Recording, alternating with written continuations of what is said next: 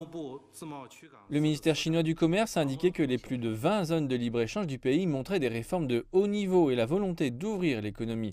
Rien que l'année dernière, la Chine a établi trois nouvelles zones de libre-échange. Elles sont situées à Beijing ainsi que dans les provinces de l'Anhui et du Hunan.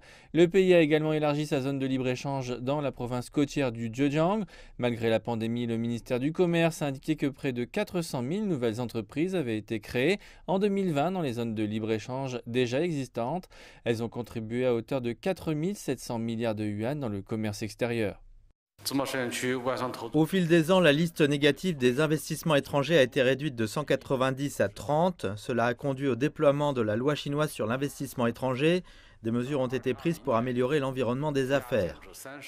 L'officiel a souligné les progrès réalisés sur le port de libre-échange de Hainan, un projet qui attire maintenant d'importants afflux d'investissements étrangers. L'an dernier, plus de 1000 entreprises financées par l'étranger y ont été créées, soit une hausse de 97% par rapport à l'année précédente. Ensuite, Tang Wenrong a ajouté que la Chine établirait une liste négative pour le commerce transfrontalier des services.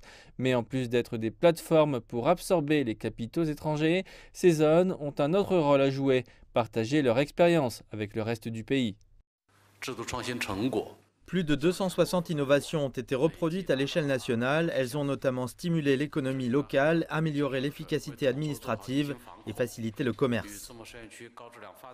Selon les officiels, les zones de libre-échange continueront d'être des zones pionnières qui aident les industries spéciales et mènent au développement de haute qualité du pays. Sept ans après l'entrée en vigueur du mécanisme pilote de zones de libre-échange de la Chine, ces zones couvrent aujourd'hui de nombreuses régions du pays, des zones côtières aux régions intérieures centrales. Le ministère du Commerce a ajouté que la Chine poursuivrait sur cette lancée avec des innovations et des réformes.